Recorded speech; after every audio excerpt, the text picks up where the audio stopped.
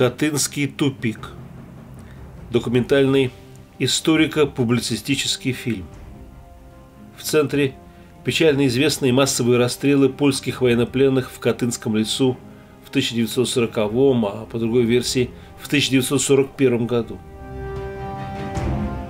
На каждом новом повороте европейской истории именно эта трагедия интерпретируется в зависимости от политической, а также и геополитической конъюнктуры. От Геббельса, позднее Папы Римского Иоанна Павла II, до Качинского и, в первую очередь, ее антисоветская, антироссийская и русофобская составляющая. С одной стороны, все принципиальные документы, а также версии их возможной фальсификации в основных вариантах достаточно хорошо известны. Хотя остаются засекреченными несколько томов расследования, которые проводила Генеральная прокуратура России.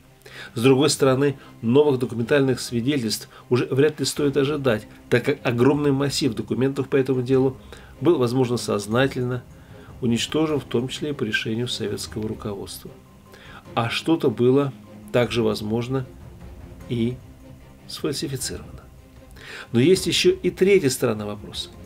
Ее именно внешнеполитический и крайне отягощенный контекст российско-польских отношений, а также их исторический фон, еще от смутного времени и Отечественной войны 1812 года до Советско-польской войны 1920 и позднее катастрофы самолета президента Леха Качинского под Смоленском 10 апреля 2010 года. Пришло время окончательно отбросить партийные конъюнктурные соображения и взглянуть в лицо вечности. Вопрос захоронения поляков сильно политизирован. И политизация эта началась в 1943 году, и начал ее Геббельс, создав комиссию, международную комиссию, которая занималась раскопками и обвинила э, Советский Союз в расстреле поляков. Это не место для политизации. Это место отдания памяти людям, погибшим в смутное время. Необходимо продолжить поисковые работы, в том числе на территории мемориала «Медное». Мы хотим добиться правды в истории.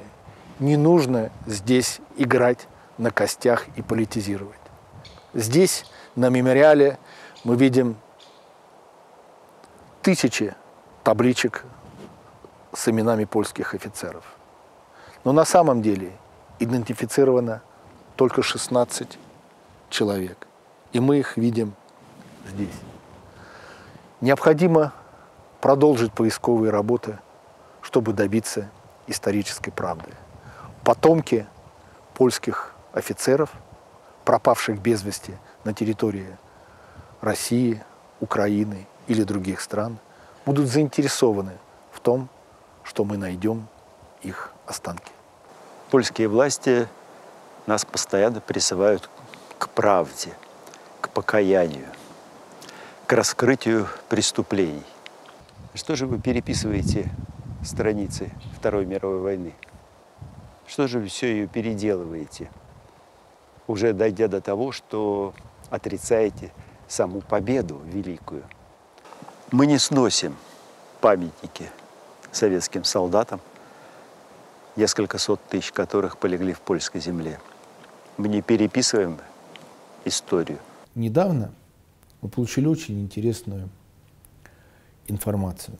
Я вам рассказываю, вот как из первых уст, вы еще никто эту информацию, наверное, и не знает. Более 360 поляков, которые считаются захороненными в Катыни, они были живы еще после войны. И проживали они на территории Советского Союза.